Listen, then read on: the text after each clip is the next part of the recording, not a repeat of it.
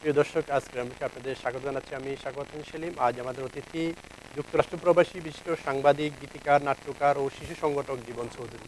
দাদা আপনাকে স্বাগত। ধন্যবাদ।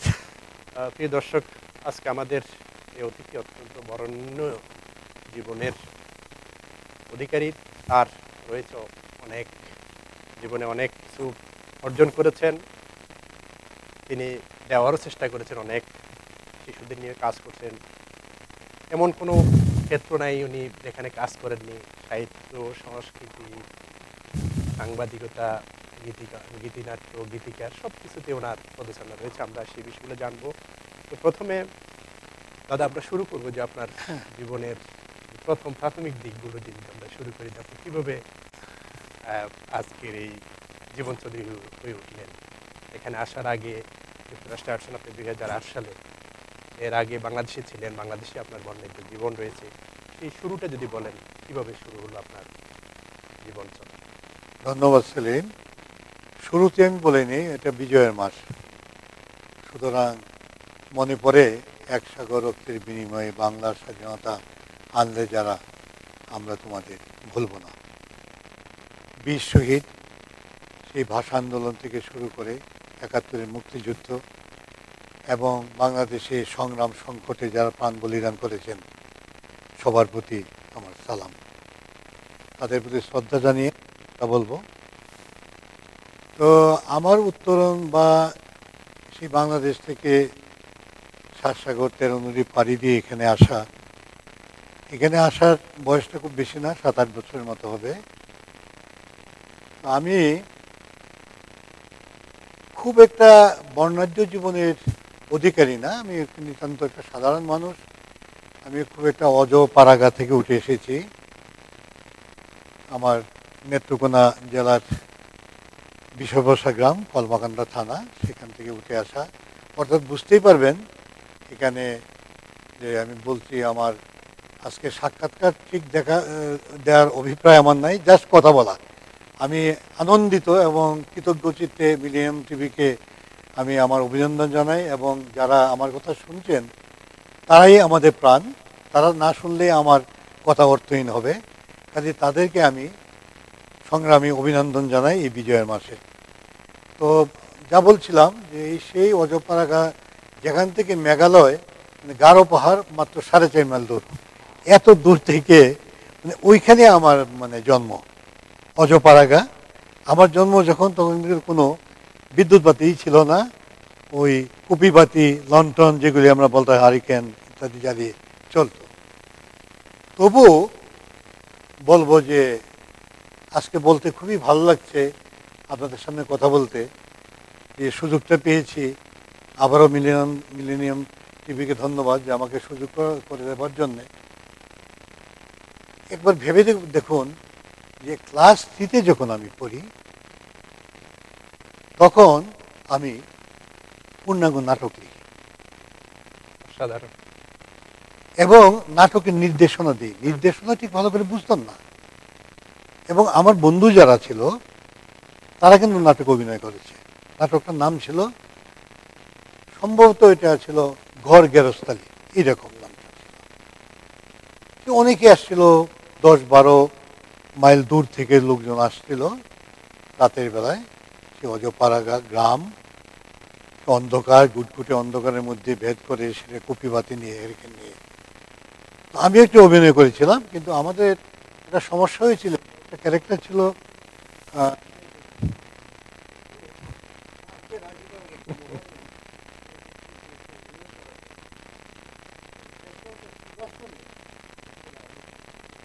শ্রীবাস হয়েছিল একটা মেয়ে, অভিনয় করেছে।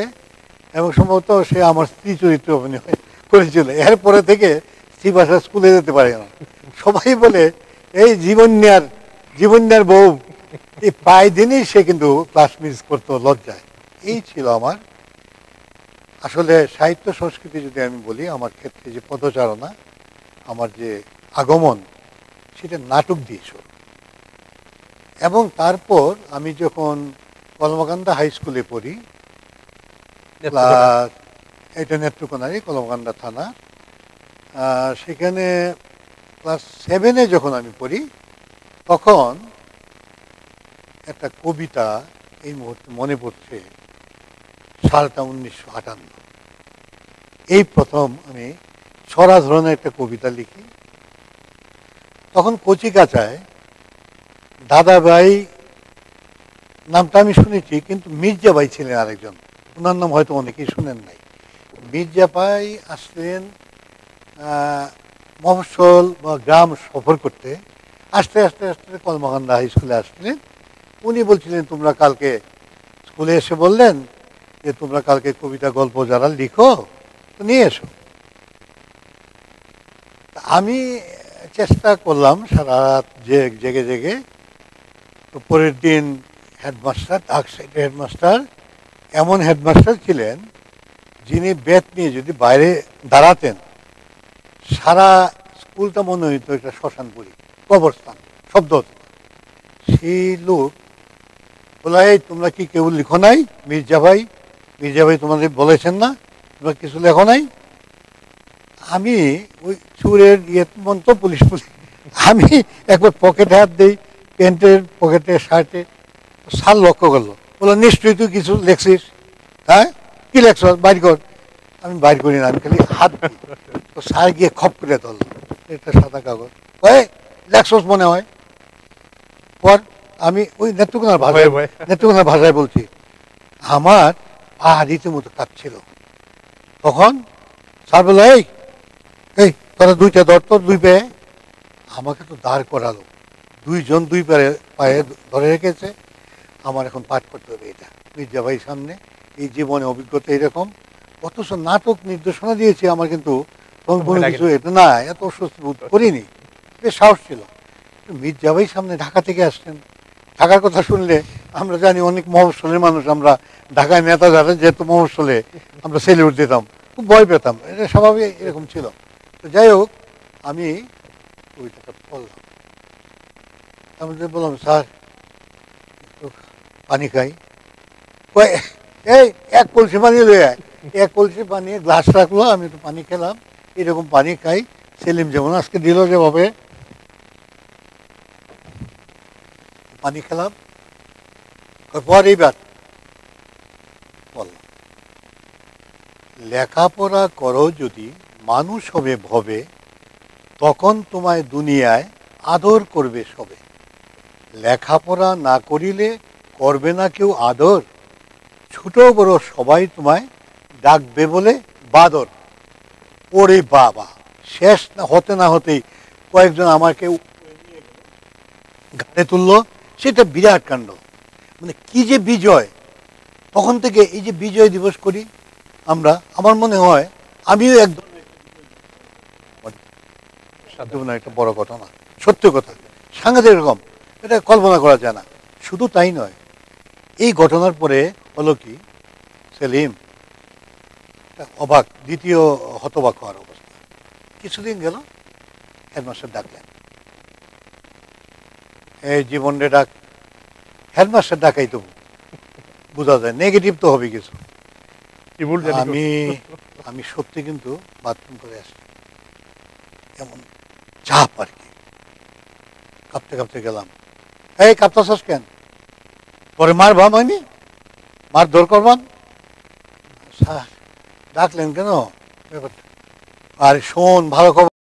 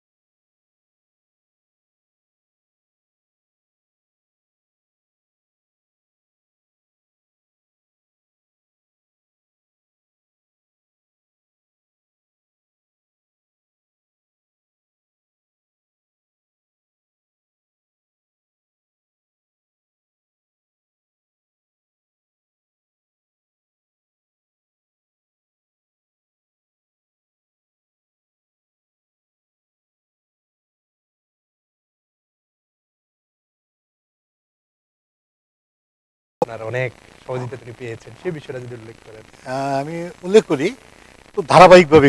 বলছি আর কি তো আমার গ্রামের কথা বললাম সাহিত্য সেই ক্লাস থ্রি তারপর সেভেন তারপর এই স্কুল থেকে আমি ক্লাস এইটে চলে গেলাম আমি বরিশাল পিরোজপুর গভর্নমেন্ট হাই স্কুলে একটু টাচ করে যায় আর কি। তো পিরোজপুর গভর্নমেন্ট হাই স্কুলে গেলাম এই জন্য যে আমার মামা পিরোজপুরে উনি সাব ইন্সপেক্টর পুলিশ ছিলেন উনি মনে করলেন যে আমার ভাগ্নেটা ভালো ছাত্র। আমি ফার্স্ট অলওয়েজ ফার্স্ট হতাম ক্লাস উনি নিয়ে গেলেন আর কি, যে আমার গভর্নমেন্ট হাই স্কুল ভর্তি করে দেওয়া হলো পিরোজপুরে তো সেখানে একটা সাফল্য ক্লাস নাইনে যখন পড়ি আমি দায়িত্ব পেলাম যে বার্ষিক যে ম্যাগাজিন বের হয় স্কুলের, ওইটার সম্পাদক হয়েছিলাম। ওইখানে মোটামুটি অল্প কবিতা, খুব একটা উল্লেখযোগ্য কিছু করি নাই। এই ম্যাগাজিন সম্পাদনাটা একটা আমার বড় ঘটনা পিরোজপুরে তারপর নেত্রকোনা চলে আসলাম। নেত্রকোনায় এলাম চৌষট্টি সালের দিকে। তো এসে চৌষট্টি না পঁয়ষট্টির দিকে ঠিক মনে নেই, নির্মলের, নির্মলেন্দ্রগণের সাথে পরিচয় হলো। চৌষট্টিতে আসার পরেই আমার ভাগ্য প্রসন্ন। হঠাৎ একদিন দেখলাম অবজারভার পত্রিকা, তখন পাকিস্তান অবজারভার পত্রিকা বলতে যে নেত্রকোনায় ইয়ে না হবে। করেসপন্ডেন্ট করসপন্ডেন্ট আমি ভাবলাম আমি মাত্র সিম্পল কলেজের ছাত্র কতটুকুই বা ইংরেজি জানি। তবে স্বীকার করি আজকে আমার মামা উনি আসলে ছিলেন দ্বিতীয় মহাযুদ্ধে যিনি সাব ইন্সপেক্টর উনি ভালো ইংরেজি জানতেন। আগে সে সে- আগের দিনের মেট্রিক পাস তো কিন্তু খুব জানো খুব ভালো। ওনার কাছে আমি মনে আছে আমি হাজার খানিক পেসেজ করেছিলাম ইংরেজিটা রপ্ত আছে আমি অ্যাপ্লাই করেছিলাম। তো হঠাৎ একদিন চিঠি আসলো। আমি ভাবি নাই। আমি এর মধ্যে শুনলাম নেত্রকোনা থেকে আরও কয়েকজন তার মধ্যে একজন অধ্যাপক আছেন। অধ্যাপকের নামটা তখন আমি জানতাম না। ভাবলাম আমাদের কলেজের কলেজের নিশ্চয়ই কেউ হবেন। ঠিক আছে। আমি বদার করি নাই। ওনার উনি চিঠি দিলেন। দেখা গেল সইটা বিখ্যাত সাংবাদিক এ বি মোসা। মোসাবাই তো নেই এখন। মোসাবাইয়ের সই মোসাফি তখন সম্পাদক ছিলেন? নিউজ এইটার নিউজ এইটার আন্ডারই তো পরে কাজগুলি। তো উনি পাঠালেন ট্রায়াল বেসিসে তিন মাস নিউজ পাঠাতে হবে। তো নেত্রকোনা নিউজ আমি পাঠাই। আর কে কে কীভাবে পাঠাচ্ছে আমি কোনো খবর নেই। আর আমি একটা সত্যি কথা বলি আমার খুব এইসব ব্যাপারে খুব একটা কৌতূহল নাই। কে কি করে না করে। আমি নিজে কি করলাম অনেক আগে থেকে আমি কিন্তু খুব একটা মানুষের কেউ ইচ্ছা করে যে না বলে তার ব্যক্তিগত কোনো বিষয় আমি এটা নিয়ে অনধিকার চর্চা করি না। এটা কেন জানি আমার মানে অভ্যাসের মধ্যে নেই। তো যাই হোক এর তিন মাস পরে একটা চিঠি আসলো যে দেখা করার জন্য। ভাবা যায় নেত্রকোনা থেকে ঢাকায়। এর মধ্যে দু একবার গেছে অন্য কাজে। আর বরিশাল যখন পড়তাম তখন তো ঢাকা হয়ে যেতে হয়ে হয়েছে যায়। গেছে কিন্তু যে এই উদ্দেশ্য উদ্দেশ্যমূলকভাবে যাওয়া বিশেষ করে একটা সাংবাদিকতার ব্যাপারে সেই বয়সে নাইনটিন সিক্সটি ফোর আর আমরা কথা বলছি দুই হাজার পনেরো সালে। সময়ের ব্যবধান কত? তো যাই হোক গেলাম সেখানে ঢুকলাম গিয়ে জিজ্ঞেস করি বলল যে এখানে কথা বলেন। এই ভদ্রলোকের সাথে। কি মফস্বল ডেস্কের যে দায়িত্বে যে সম্পাদক ছিলেন মফস্বল এডিটার। কি চেহারাটা তো বাঙালি মনে হয় উনি বলল হ্যাঁ ভাই মিস্টার জীবন শুধু আমি কিছুই বুঝি না। উনি বলছেন, পরে জানলাম উনি অস্ট্রেলিয়ান সিডনিতে বাড়ি। বহুদিন ধরে এখানে আছেন বাংলাদেশে অবজারভারে চাকরি বা কাজ করেন। উনি আর সেটা সেটা কি বিপদ? কিছু এমনি ইংরেজি ভালো জানি না কোনোভাবে আসছি। এ আবার একটা এই পা কাপার মতো অবস্থা। নো নো নো গেট আরেক হেডমাস্টার আপনার। আরে হেডমাস্টার কি যে জীবনটা গেল এইভাবে পরীক্ষা দিতে যেতে আমি একাডেমি কি পরীক্ষা? এইসব লোকের সাথে পরীক্ষা দিতে যেতে যেমন সংবাদ আহমদুল কবির বদরুর রহমান পরীক্ষা ব্যারিস্টার মনিউল হোসেন ফেরদৌস সমেত করেছি পরীক্ষা দিলাম। যাই হোক তো বলল কে, কাম কেমন বুঝলাম যে ওনার সাথে যাইতে রওনা করছে। মোসাফের ঘরে ঢুকলাম। হাত মিলালেন খুবই বিনয়ী মিস্টার উনি বুঝতে পেরেছেন মফসল থেকে আসতে। মানে আমি আমি যাতে কোনো ব্যাপারে বদার করি বা কোনো মানে ভীত সন্ত্রস্ত হই বা কোনো দ্বিধা, দ্বিধান্বিত হই, এই দ্বিধাগ্রস্ত হই, উনি খুব ফ্রি হয়ে গেলেন। তো জীবন ইংরেজি বাংলা মিশিয়ে কথা বলেন। তো আপনাদের কিন্তু, আপনি বললেন উনি, তো আপনাদের কিন্তু প্রফেসর ফেল মেরেছে। মানে কি বলেন? ইংরেজির অধ্যাপক। আমি শুনছি। কেন এটা বলছেন সবাই? না, তিনজন করেছিল, তো একজন নিউজ পাঠায় নাই উনি নিউজ পাঠায় পাঠালো, আর উনি ওনার যোগ্যতায় লিখেছি কি ডোন্ট টেল হিম প্লিজ উনি ইংরেজি অধ্যাপনা করেন, এটা বলাও এটা ইনসাল্টিং আপনাদের পড়ান তো নিশ্চয়ই। হ্যাঁ আমি নেত্রকোনা কলেজে পড়ি উনি লিখছেন I was graduated in B examination ইংরেজি। একজন। এই জন্য আমরা মানে ওনাকে আর জানাইনি তবে থ্যাংক ইউ হ্যান্ড শেক করল দিস ইজ ইউর লেটার ওনাকে অ্যাপয়েন্টমেন্ট যে তুমি মাসিক রিটেনের অ্যালাউন্স পনেরো টাকা করে সরি পঁচিশ টাকা করে পাবে আর প্রতি শব্দ শব্দ হিসেবে। ওই একশো নিম্নবিন্দু গুণ আমার বন্ধু লিখেছে জীবন শব্দ গুণে কথা বলতো। এটাই হয়- এটা। তো এই পনেরো পয়সা করে প্রত্যেক শব্দে আমরা বিল পেতাম। এই একটা তখন একটা সাহস যে হলো। এই চাকরি আমিও করেছি দাদা। ভাই তাই না? তখন সাহস বেড়ে গেল। অবজারভার কিন্তু সাংঘাতিক শক্ত পত্রিকা। এর মধ্যে বলল যে আহ, আরেকটু দায়িত্ব দিতে পারি আমি। সবাই বলেন। এই পাশে আছে এতে- এতে সময়দা চৌধুরী। উনার এখানে যান। গেলাম। তো সাতটাই পূর্ব দেশ তখন। আরেকটা অ্যাপয়েন্টমেন্ট লেটার ওই পঁচিশ টাকা আর পনেরো। আমি ইনকাম ভালো ইনকাম তো ঠিক আছে কত দাঁড়ায়? তো সবাইকে আমি সালাম টালাম জানি পূর্বদেশ সাপ্তাহিক তখন। তারপরে অবশ্য দৈনিক হয়েছিল। তো ওই দুইটারে আমি সম- সমতাতে ছিলাম একটুখানা এটা নিয়ে ফিরলাম। ফেরার পরে নিউজ পাঠালাম প্রথম মাসে বিল আসলো পঁচাত্তর টাকা। মানে পঁচাত্তর টাকাটা বিশাল ব্যাপার। তখন ছাত্র মানুষ অনেক টাকা। তো যাই হোক এই ইন্ডিমিনটাই তো সাহিত্যকর্ম শুরু করলাম। আরেকটা অ্যাচিভমেন্ট হলো ও দিন যাচ্ছে তো এইভাবে হতে হতে কি ছয়ষট্টি সাল।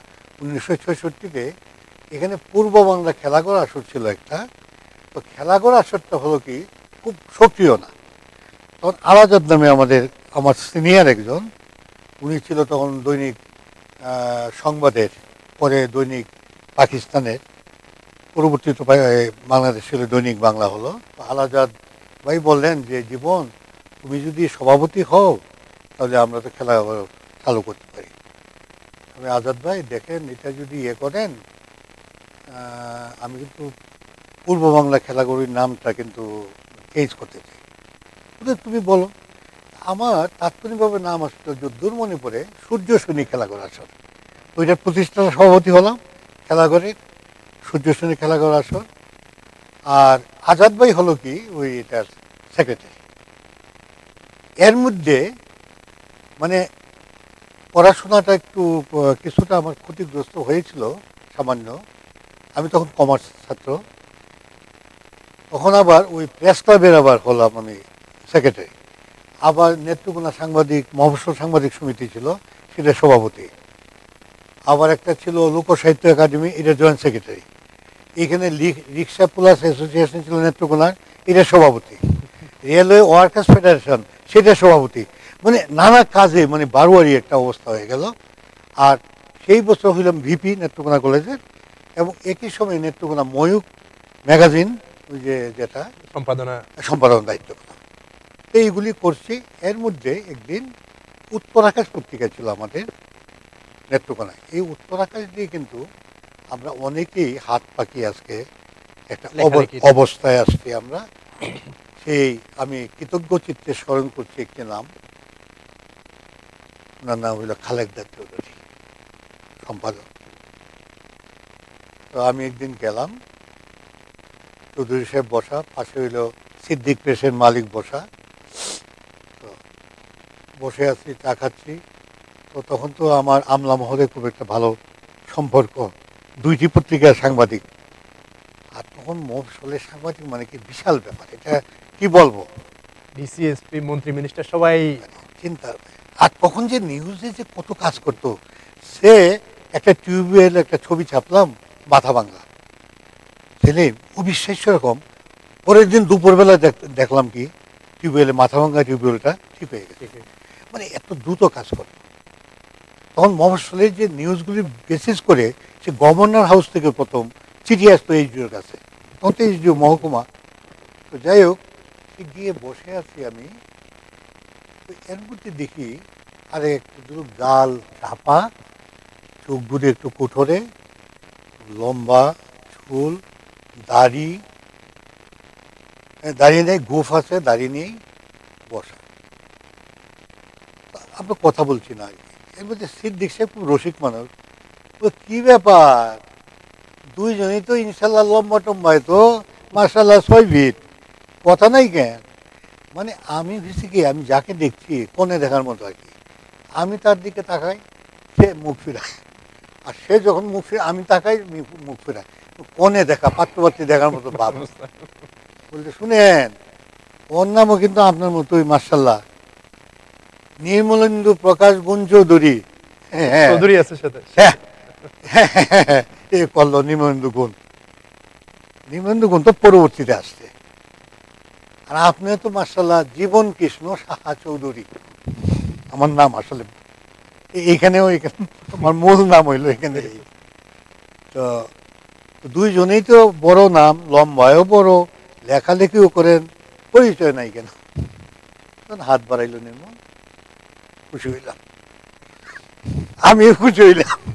এই প্রথম পরিচয় তারপরে এ থেকে তো নির্মলগুণের সাথে। পরিচয় লেখালেখি সব কিছুই শুরু হলো আর কি নির্মলের সাথে বন্ধুত্বটা আর কি। দাদাও সেখানে পড়াশোনা করতেন? হ্যাঁ ও মাইমি সিংহ পড়েছে আর নেত্রকোনা থেকে পড়েছে ময়মনসিংহ। বয়সের দিকে আপনার কতটুকু? আমরা সমসাময়িক বলা যায়। আমার চেয়ে সামান্য একটু বড়ই হতে পারে নির্মল।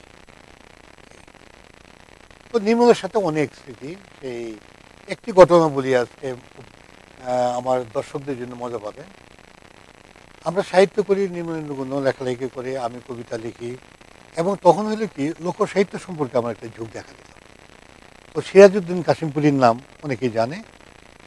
আর তখন আদিস্তা নামে একটা পত্রিকা সিলেট থেকে বের হতো। সেটা সম্পাদক ছিলেন নুরুল হক টিকে। উনি কীভাবে খবর পেলেন আমি ওই লোক সাহিত্য করি, সিরাজউদ্দিন কাশিমপুরীর স্নেহদন্য আমি, তখন সংগ্রহ করি ছড়া। যেমন ছড়াগুলি আমার মনে আছে, যেগুলি আমার বইয়ে অন্তর্ভুক্ত, পরে বিশ্ব বই আকারে বেরিয়েছে বাংলাতে বাংলা একাডেমি বের করেছিল। পূর্ব ময়মনসিংহের ছড়া। যেমন ওই ছড়া সংগ্রহ করি। আমি গেলাম গরিপুর, দেখে এলাম দুই সুর। দুই সুরে বেড়া বান্ধে দাপুর, দুপুর দাপুর, দুপুর।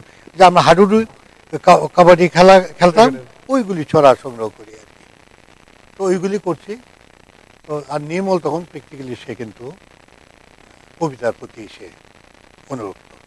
সে বারোটা থেকে আসতো, ওর কাশবন, কাশতলা বাড়ি। সেখান থেকে। সে নিজেই বলে যে উইদাউট টিকেটে আমি আসতাম। এখনও কিন্তু লেখার মধ্যে। উনি নিজেও স্বীকার করেন উইদাউট টিকেটে সে লজ্জাও বোধ করে না। তো আমাদের সাথে জয়েন করে। এইভাবে আমরা সাহিত্য করছি তো অনেক বড় ঘটনা বেশি ঘটনা বলে লাভ নেই। তো তার মধ্যে একটি বলতে হয় যেহেতু খেলাঘরের কথা বললাম তার আগে আমি কুচি কাঁচা কিন্তু করতাম। কুচি কাঁচা যখন করতাম আমি কিন্তু এইখানে কিন্তু গীতি নাট্য লেখা আমার চর্চা। আমার ধাপে ধাপে তো আমার নাটকের কথা বললাম কবিতার কথা বললাম গীতি নাট্য অর্থাৎ গান লেখার বিষয়টা কিন্তু এইখানে আমার। শুরু। তো একটা গীতিনাট্য গান আমার মনে আছে কচকুচিয়ে কাছে নিয়ে আমরা সব গিয়ে ধান কাটি ফসল কাটি হাসি খুশি নিয়ে। এখানে গীতি কবিতা তারপর লোকসাহিত্যের কথা বলছি। এটা প্রায় চার হাজার হ্যাঁ? আমার গান রেকর্ড এবং প্রচার মিলে হ্যাঁ চার হাজারের কম বোধ হওয়ার কথা। আর বই লিখেছেন সাতটি প্রকাশিত হয়েছে। বই পাঁচটি আর দুইটি আপনাদের দোয়ায় বই মেলায় দুইটি বই। বহুদিন পরে বিশ পঁচিশ পরে আবার পঁচিশ বছর পরে আবার উদ্যোগ নিয়েছি। ছাপা মানে ছাপা প্রায় শেষ পর্যায়ে বেরিয়ে যাবে আশা করি। তো যাই হোক এই নির্মলের সাথে নির্মলের যে ঘটনাটা মজার বলে আমি তারপর ঢাকায় চলে আসব।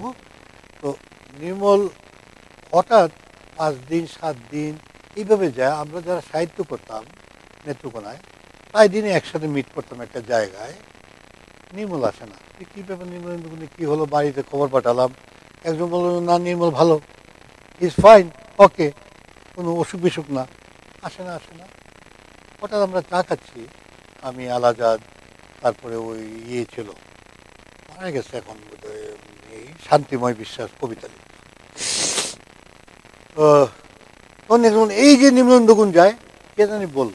আজাদ ভাই বলছিল, তখন গুণ তো লম্বা, এত স্টেপ সাংঘাতিক কিন্তু, খুব হাঁটতে পারতো। চুকের পলকে কোথায় হারিয়ে গেল? আমরা ধরতে পারলাম না। আমরাও হাঁটলাম তার পেছনে, হাঁটতে হাঁটতে হাঁটতে নেত্রকোনা কোনায়।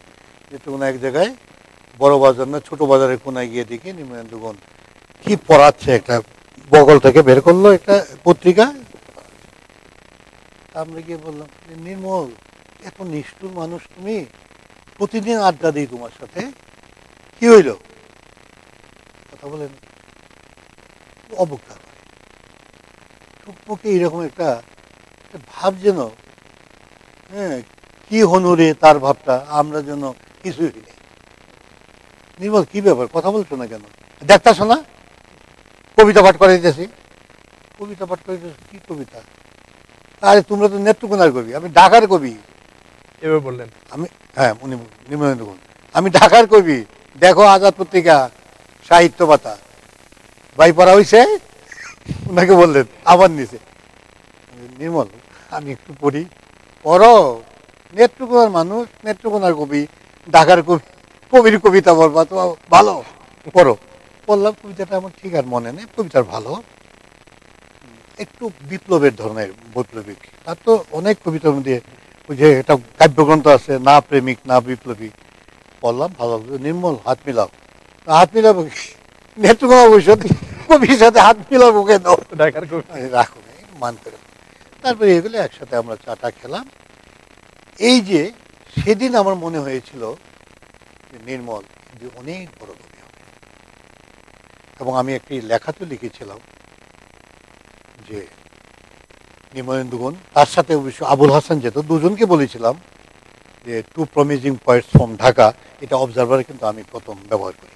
কবি শব্দটা কিন্তু নির্মলেন্দুগুণের আমি কবি শব্দটা ব্যবহার করি। এটা একটা বিশাল তারপরে ঢাকায় আসলাম ঢাকার জীবন শুরু হলো। কত সালে দিয়ে গেলেন? এটা আটষট্টি ঢাকায় আটষট্টিতে আমি প্রথম কাজ নেই পার্ট টাইম জব নেই সেটা হলো Pakistan Times Dawn Pakistan Times আমাদের যে বাংলাদেশ টাইমস ওইটা না। তখন একটা লাহোর রাওয়ালপিন্ডি থেকে একটা কাগজ বের করতো ইংরেজি। সেখানে সালাউদ্দিন মাহমুদ ছিল বুড়ো চিফ সেগুন বাগিচায় ঢাকায়। ওইখানে কাজ নেই। আর তখন আমার পড়াশোনা ইকোনমিক্সের আমি এম এ করেছি তারপরের বছরই। ঢাকা ইউনিভার্সিটি ঢাকা ইউনিভার্সিটি তো সেখানে কাজও করতাম পার্ট টাইম জব করতাম আর ইকোনমিক্সে পড়াশোনা করতাম। ঢাকা বিশ্ববিদ্যালয় তখন আমাদের হেড অফ দ্য ডিপার্টমেন্ট ছিলেন doctor M N Huda KT Hossain Rahman Subhan Musharraf Hossain sorry Muzaffar Hossain তারপরে আনিসুর রহমান ওনারা আমার সেই সময়টা। তো টাইমসে জয়েন করলাম, তারপরে পিপুল পত্রিকা আমাকে নিয়ে গেলেন। আজকে উনি নেই। ওনাকে যে মতাদর্শে, যে যেভাবে বিচার করুক, কিন্তু সাংবাদিক হিসেবে আমি ওনাকে অনেক সম্মান করতাম। এখনও তাকে আমি সাংবাদিক হিসেবে আমি আমার মনে প্রাণে সত্যি লোকটাকে আমি স্মরণ করি। আনোয়ার জাহিদ পিপল পত্রিকা উনি নিউজ এডিটার উনি আমাকে পিপল পত্রিকা নিয়ে গেলেন। সেখানে নিম- নিবন্ধগুণও ছিল, আবুল হাসানও ছিল। তারপর আমি তখন পিপলে গেলাম বাহাত্তর সালে, উনিশশো বাহাত্তর। বাহাত্তর সালে গিয়ে তখন সাবে এটা বেতনটা মনে আছে, তিনশো পঁচিশ টাকা।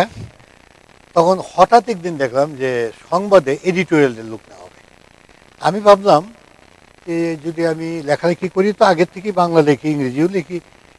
দুটাতেই আমার একটু মোটামুটি পারদর্শিতা আছে। তো আমি দেখি একটু পার্ট টাইম জব যদি করি কারণ এদিকে আমার ভাই বোন কয়েকজন অলরেডি ঢাকায় চলে আসছে। তো নিজে চাকরি করা, পড়াশোনা করা ভাই বোনরা চলে আসা বুঝতে পারেন যে অবস্থাটা কীরকম। খুব ছিল আমার জীবনটা যে আরও কিছু বাড়তি ইনকাম দরকার। আমি একদিন ফোন করলাম, সংবাদে মিরি মাহবুব আলী ছিলেন এক্সিকিউটিভ এডিটার তখন ওই যে বংশাল রোডের সংবাদ নিঃশ্বাস মানসিক সিনেমার সামনে। তো বলল যে এডিটার সাহেব কালকে আপনাকে আসতে বলছেন গেলাম পরের দিন। গেলাম। তো মাহবুব সাহেব যে মীর মাহবুব আলী সাহেব নাইস ম্যান উনি মারা গেছেন। পাতলা। পিএস চৌধুরী আসেন বসেন। তো উনি ঢুকলেন সামনে গিয়ে দেখি পরে পরিচয় হলো সন্তোষ গুপ্ত। আমাদের সন্দেহ সন্তোষ গুপ্ত বিশাল।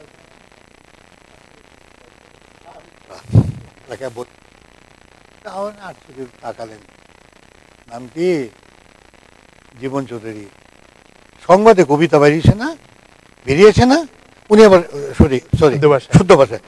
এটা কবিতা ছাপা হয়েছে না? আমি কিন্তু সাহিত্য দেখি। ওর রনেশদাই ছিলেন আমি কিছুদিন ধরে দেখছি। আপনার তো কবিতা ওই আজাদ পত্রিকাও ছাপা হয়েছে।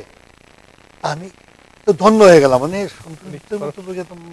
বলছেন খুবই প্রণাম করতে গেছি। না না। এর মধ্যেই। হ্যাঁ নিয়ে আসুন।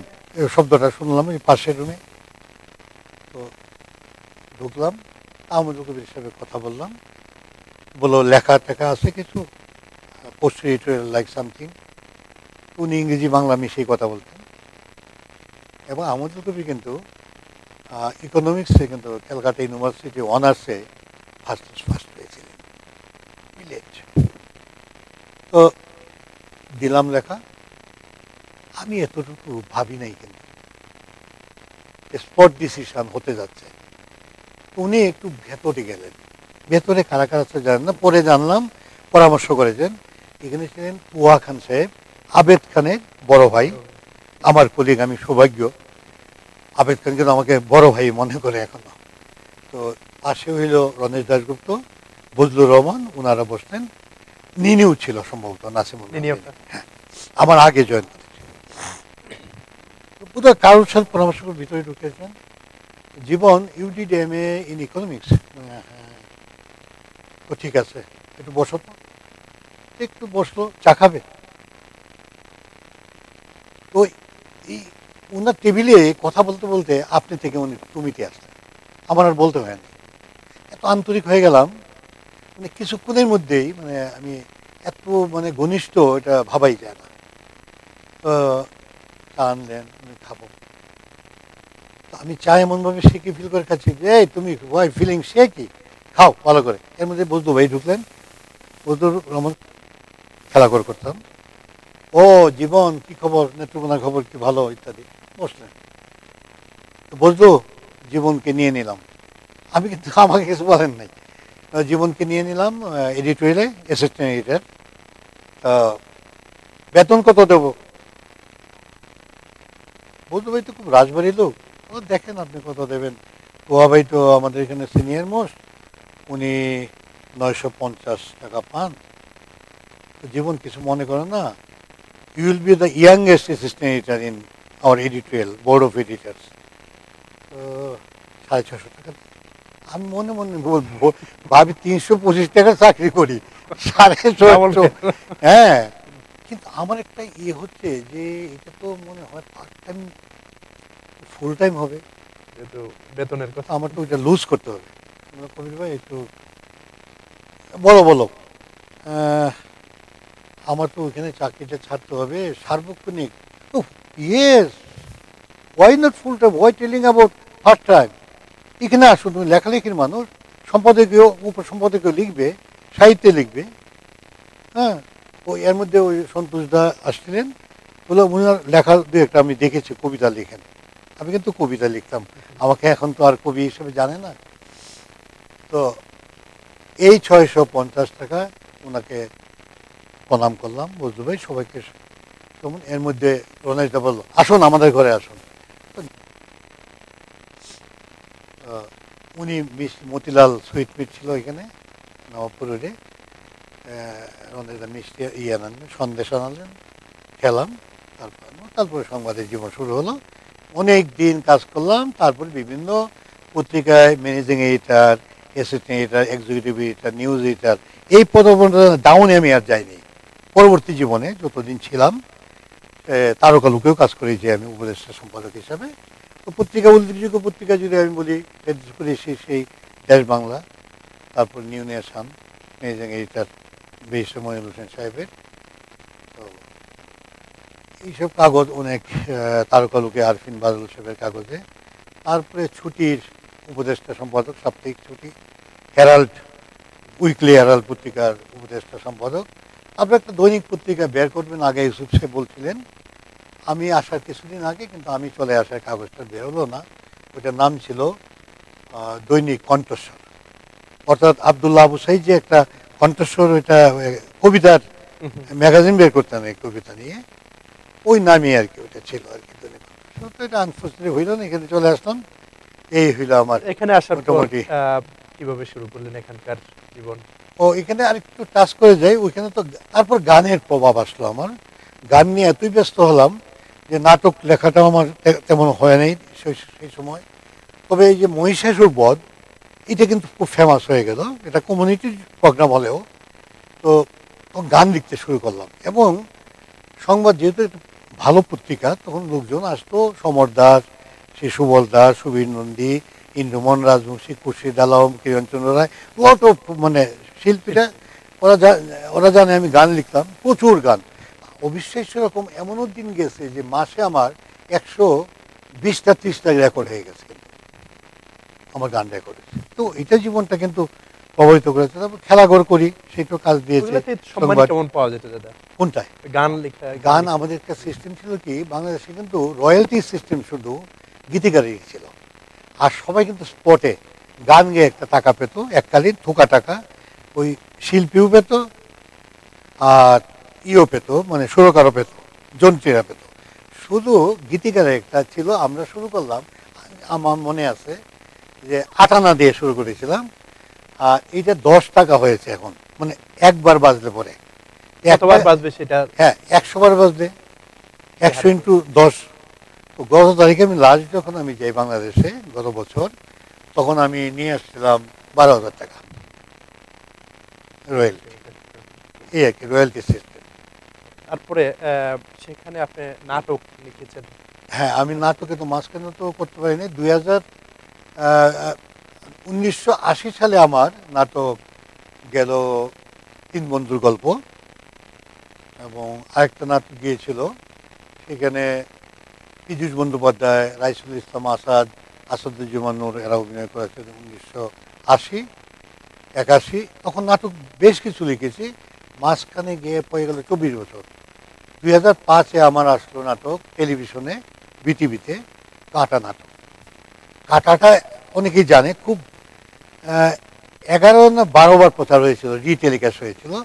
এটার যে নায়িকা যে সুরেয়া রাত্রি সে পেন্সিলভেনিয়া আছে, আমার আজিজুল হাকিমের শালিকা। আর সিজার ছিল নায়ক। আর বন্ধু আমার ছিল খুব ফেমাস নাটক আমার। তো নাটক যদি আমি ধরি গীতিনাট্য নাটক নাটিকা সব মিলে সব দুই তিনশোর মতো হবি।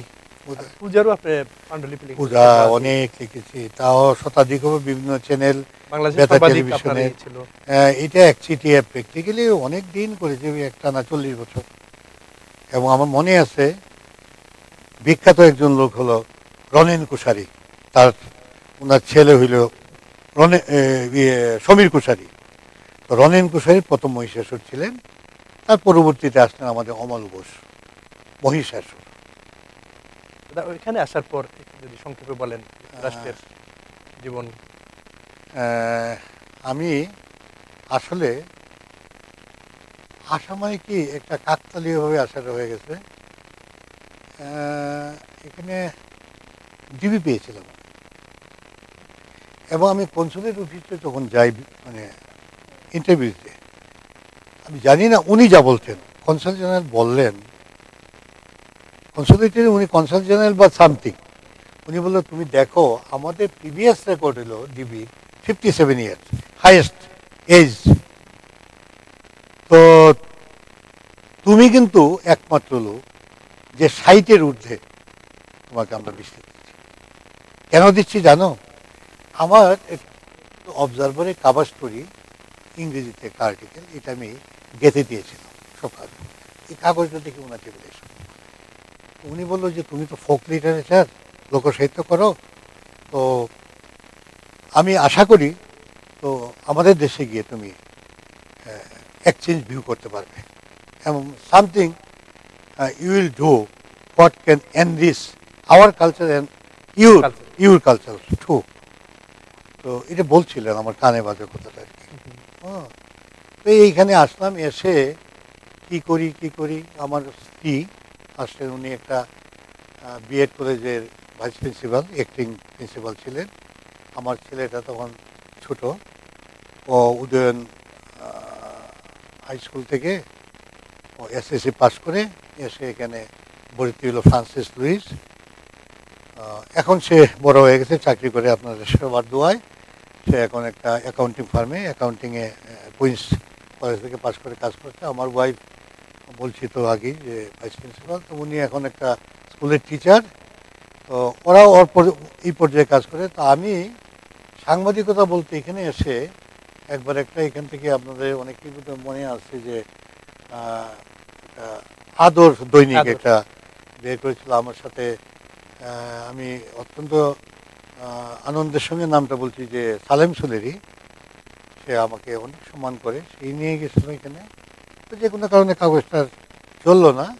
তিন চার মাস পরে আমি এখান বন্ধ থেকে হয়ে গেল কাগজ বন্ধ হয়ে গেল।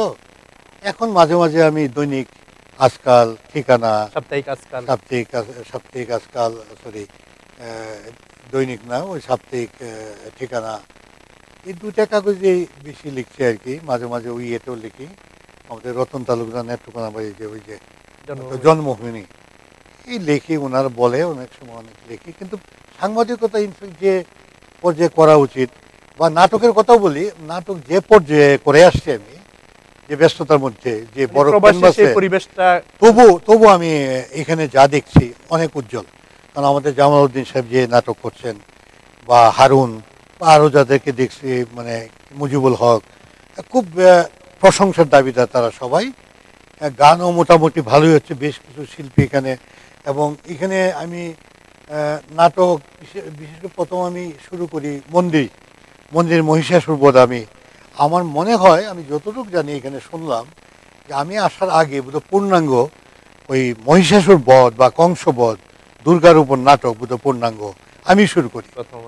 এবং শুধু তাই না আমি যা শুনেছি ওনাদের যে ইনফরমেশন এটা অহংবোধ থেকে আমি বলছি না এটা আপনারা ক্ষমা করবেন আমাকে। আমি শুনেছি যে বাচ্চাদের নিয়ে যে নাটক করা ওইটা আমি শুরু করেছি। শুধু ধর্মীয় কোনো নাটক না জেনারেল নাটক কিন্তু শিশুতোষ নাটক কিন্তু আমি বেশ কয়েকটা মন্দিরে অলরেডি পাঁচ সাতটা নাটক বাচ্চাদের নিয়ে আমি গীতিনাট্য নৃত্যনাট্য এবং নাটক পূর্ণাঙ্গ নাটক আমি স্টেজ করেছি। এবং এই বাচ্চাদের এখান থেকে করতে গিয়ে আমি দেখলাম ওরা তো একদম বাংলা জানতো না। প্রথম আমি পাঁচ ছয় মাস ওদেরকে বাংলা শেখাতাম। শিখে পরে ক্যারেক্টার বলতাম যে এই character this is root character this is good character performance is this এবং ওদেরকে সুন্দরভাবে বোঝানো হত- হচ্ছে কি আমি দেখেছি এরা ভালো কেস করতে পারে একবার যদি মাথায় যায় আর ওরা ভুলে না। নতুন প্রজন্ম। নতুন প্রজন্ম। এবং যেহেতু আমি একটা সংগঠন করেছি খেলাঘর প্রায় বারো লক্ষ শিশু কিশোরের সাংস্কৃতিক বিভাগে আমি চেয়ারম্যান ছিলাম। তো আমি বাচ্চাদের অভিজ্ঞতাটা এখানে অভিজ্ঞতাটা আমি কাজে লাগিয়ে দাদা, এখানে সাংবাদিকতা কেমন দেখছেন আমি সাংবাদিকতার আগে একটু বলে নিই নাটকটা। আমি অত্যন্ত আনন্দের সঙ্গে আরেকটি নাম উচ্চারণ করছি। একটা সালিম সুলের কথা বললাম প্রত্যেক যে কদিন কাজ করেছি তবু করেছি আমি। আর আমাকে নাটকে সিরাজউদ্দৌলা নবাব বাংলার নবাব সিরাজউদ্দৌলা যে আমাদের খান শকত। আদরের মানুষ আমার প্রিয় মানুষ আমি অত্যন্ত পছন্দ করি। সে আমাকে পরিচালক আপনারা দেখেছেন যে পরিচালক হিসেবে আমার নামটা যায়। এই নাটক মোটামুটি এইভাবেই চলছে। আমি আরও নতুন কিছু করার চেষ্টা করছি। এই। সাংবাদিকতা কেমন দেখছেন? সাংবাদিকতা সাংবাদিকতা আমি একটা কথা বল যে আমি মোটামুটি কিন্তু এখানে বারো থেকে চোদ্দটা যে কয়টা কাগজ আছে আমি কিন্তু প্রায় সব কয়টাই সবচেয়ে পড়ি। প্রায় সবগুলি পড়ি। এবং যে কাগজটা কম পড়ে আমি শুনি, এই কাগজটা বেশি পড়ি। বেশি পড়ি এর জন্য যে আমাদের মানটা কতটুক ভালো, কতটুক খারাপ, ভালো মন্দ মিশিয়ে কিন্তু বিচার করতে হয়। যেমন এই প্রসঙ্গে আমি বলি, আহমদুল কবির সাহেব আমাদের সংবাদে সম্পাদক বলতেন, জীবন, একজন বলল ছবিটা খারাপ। কেন খারাপ? এটা কেন আমরা আবিষ্কার করি না? তুমি দেখবে খারাপ ছবিটার মধ্যে এমন কিছু দৃশ্য আছে যে ভালোর চেয়েও ভালো। সবটা খারাপ। সবটা খারাপ। সবটা খারাপ। তো এটা কিন্তু আমি। তো এই হিসেবে নেই যে under estimation and over estimation সাংবাদিকতা কিন্তু প্রযোজ্য না ঠিক না? কাউকে ছোট করে দেখা উচিত না কাউকে একেবারে খুব বেশি উপরে অর্থাৎ অতি কিছু ভালো না। তো এই সেন্সে আমি সব কাগজগুলি পড়ে আমার ধারণা হয়েছে কি জানেন? এই ধারণা হয়েছে দে আর ডুইং লট আমার সাংবাদিক বন্ধুরা অনেক অনেক বেশি করছেন। অনেক সীমাবদ্ধতা সত্ত্বেও। এই সীমাবদ্ধতা যদি বাংলাদেশে থাকতো কোনো কাগজ চলতো কিনা আমি জানি না। ঠিক তেমনিভাবে আমি জোর গলায় বলতে পারি এইখানে যে গানের পর্যায়ে যে সীমাবদ্ধতা নিয়ে শিল্পীরা গান করছেন যে সীমাবদ্ধতা নিয়ে এখানে গীতিকেরা গান লিখছেন যারা সুর করছেন যেমন নাদিম আহমেদ সুর করে যাচ্ছেন। যেমন জীবন বিশ্বাসের নাম বলতে হয় সেও সুর করে গান লিখে। আমাদের রতিনের মতো শিল্পী শহীদ হাসান। তাই না? এরকম অনেকের নাম বলা উচিত। এখানে অনেক গুণীজন কিন্তু রয়েছেন নাটকেই বললাম নামগুলি বললাম। তো সব ক্ষেত্রে এইখানের অ্যাচিভমেন্টটা কিন্তু যদি কেউ নেতিবাচক দিকে দেখেন আমি তার সাথে নই। নই এই জন্য আমি সবসময় মনে করি নিরাশার বালু চড়ে আশার আলো খুঁজে যারা পথ চলে জেনে রেখো আমিও তাদের। তাদেরই দলে কিংবা আমি আধারের কাছে করব না আত্মসমর্পণ, কারণ আধারেই জ্বলবে জানি আমার জীবন। এই পজিটিভ দিক রেখে সংবাদপত্র বা সাংস্কৃতিক অঙ্গনের সব কিছু ঠিক, তারপরে একটি কথা বলি যে পত্রিকা বের করতে গেলে ভুল হবে। আমি অনেকেই বলি পার্সোনালি খুব বিনয়ের সঙ্গে যে ভুল কমিয়ে আনতে পারলে ভালো, কারণ বানানের ভুলটা কিন্তু আমার খুব পীড়া দেয়। অনেকে ভুল শিক্ষা নেয় সর্বশেষ আমরা শেষ করব। হ্যাঁ, হ্যাঁ। আপনার আপনি কি করছেন এই সময়ের। আমি প্র্যাকটিক্যালি কীভাবে সময় কাটছে? আমার সময়টা কাটছে কিন্তু খুব খারাপ না। খারাপ না এই জন্য যে আমি একটি সিকিউরিটি জব করছি এখন। খুব হালকা পাতলা কাজ এবং এই কাজের ফাঁকে ফাঁকে কিন্তু আমি লিখছি। লেখালেখি? কারণ সময় পাচ্ছি তো বিশেষ করে আমি রাতে কাজ নেই সারা রাতে নির্জন থাকে। আমি বাংলাদেশের আমার বন্ধু যারা লট অফ ফ্রেন্ড অনেক অনেক গুণীজন বন্ধু আমার। তাদের সাথে কথা বলি, তাদের সাথে মাটির সাথে আমার সম্পর্কটা রাখার জন্য। আর লেখালেখি করতে পারছি আর কি। তো এটা আমার জন্য খুব একটা ইতিবাচক লক্ষণ। আমার খুব ইচ্ছা আছে যে নতুন কিছু গান এবং আমি এখানে এসে দেখলাম যে পুরানো গানগুলি কিন্তু আমাদের এসে ঘুরে ফিরে আসতে। কিন্তু প্রবাস নিয়ে গান এখানে যে সংকট সমস্যা সম্ভাবনা এর উপর রচিত খুব একটা গান কিন্তু এখানে আমি দেখছি না। আমার মনে হয় প্রবাসকে নিয়ে কিছু প্রবাসকে নিয়ে এই কমিউনিটির ডেভেলপমেন্ট অ্যাচিভমেন্ট নিয়েও এবং ভবিষ্যৎ কি হতে পারে এই নিয়ে কিন্তু গীত রচনা করার একটা স্কোপ আছে। আমি চাচ্ছি এই গীত রচনা করা যেমন কিছু ইংরেজি বাংলা মিশিয়ে যেমন করা যেতে পারে যেমন আমি বলি কথায় কথায় এক্সকিউজ মি প্লিজ ভালো যদি ভালো যদি বাসো আমায়, মনটা দেব লিজ। এখন হলো কি এক্সকিউজ শব্দটা আসলো, লিজ আসলো, এই মিশিয়ে একটা সুন্দর কিছু করা। আর দ্বিতীয়ত হলো যে আমাদের যে রবীন্দ্রনাথ নজরুল, লালন শাহাসন এই এদের গানগুলি ইংরেজি অনুবাদ করে, ইংরেজিতে মানে গানের সুরটা অবিকৃত রেখে করা যায় কিনা। সেই বিষয় নিয়ে। আরেকটা বিষয় যে আপনি যখন বিষয় পাওয়ার পর যে বললেন যে যে কনসুলেটে আপনাকে বলেছিলেন যে এখানে কিছু করার সেই বিষয় নিয়েও নিশ্চয়ই আপনি মনে আছে বিষয়টা। কোনটা? যে ভিসা দেওয়ার সময় যে আপনাকে বলছিল যে ও হ্যাঁ সেটা হচ্ছে না আমি ভাবছি সে নিয়ে কাজ আমি সেটা নিয়ে কাজ করার কথা সত্যি ভাবছি। সত্যি। আর একটা কথা বলি দাদা ওই একটা সেটা হলো এখানে কিন্তু অনেকে জানে না যে আমার যে এই যে নাটকের কথাগুলি শিশুতোষ না- নাটক আচ্ছা গানের একটা কথা বলি। বাংলাদেশে যখন গণজ গণজাগরণ চলছে, তখন শহীদ হাসান একদিন রিকোয়েস্ট করলেন দাদা, আমি একটা গান চাই। আমি কিন্তু এখানে একটা গান লিখেছি। আমার মনে হয় গণজাগরণে মৌলিক এখানে গান আমি লিখেছি। আবার জেগেছে বাংলার সূর্য তরুণ শাহবাগ চত্বরে। অপশক্তি রুখে দাঁড়িয়ে জীবনটা বাজি রেখে যেমন জেগেছিল বায়ান্ন একাত্তরে অসাধারণ সুর করেছে কয়েকটি অনুষ্ঠান। অনুষ্ঠানে ওই শহীদ হাসান আমি কৃতজ্ঞ সেই গানটা সুর করে উনি গান। অনেক ধন্যবাদ। অনেক ধন্যবাদ আমারও। এই শ্রোতারা এতক্ষণ ধৈর্য ধরে আমার কথা শুনতে পেরেছেন। আমি তার আমি সবার প্রতি সবার প্রতি প্রত্যেকের প্রতি আমার কৃতজ্ঞতা শেষ নেই। সবাইকে এই বিজয়ের দিবে- দিবসে বিজয় বিজয়ের মাসে আমি আমার অভিবাদন জানাই। আমি লাল সালাম জানাই আমার রক্তিম শুভেচ্ছা জানাই এবং মিলিনিয়াম টিভিকে অনেক অনেক ধন্যবাদ। ধন্যবাদ ভাই সেলিম। অনেক অনেক ধন্যবাদ। প্রিয় দর্শক আজ আমরা এখানে শেষ করব। আপনারা ভালো থাকুন সুস্থ থাকুন এবং মিলিনিয়ামের সঙ্গে থাকুন।